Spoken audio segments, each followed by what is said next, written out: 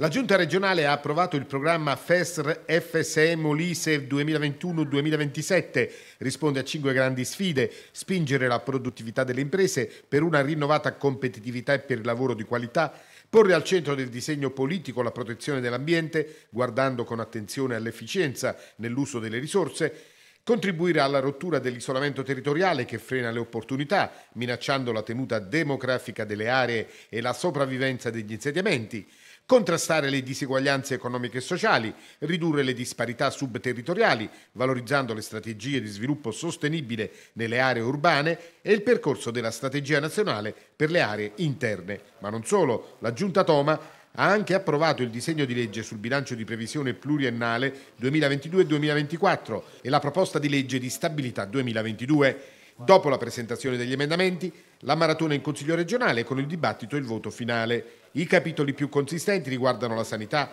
i progetti in materia di opere pubbliche a partire dalla viabilità e dalla sicurezza scolastica, i trasporti, il sostegno al sistema produttivo e all'occupazione, la cultura e il turismo. Tra le novità, l'istituzione della Scuola regionale di formazione della protezione civile presso il Consiglio regionale, dotata di autonomia amministrativa, gestionale e contabile, per la formazione e l'aggiornamento del personale da impiegare in attività operative di protezione civile, degli amministratori locali, nonché degli operatori del sistema regionale di protezione civile. Previste inoltre modifiche alle leggi di disciplina delle attività commerciali e artigianali, con un capitolo dedicato alla disciplina della soppressione ed estinzione delle comunità montane. Cambiamenti in vista anche per la pesca sportiva, in considerazione dei cambiamenti climatici sempre più evidenti che uniti ai significativi prelievi d'acqua lungo le aste fluviali mettono sempre più in crisi gli ecosistemi acquatici e le specie ittiche che li popolano.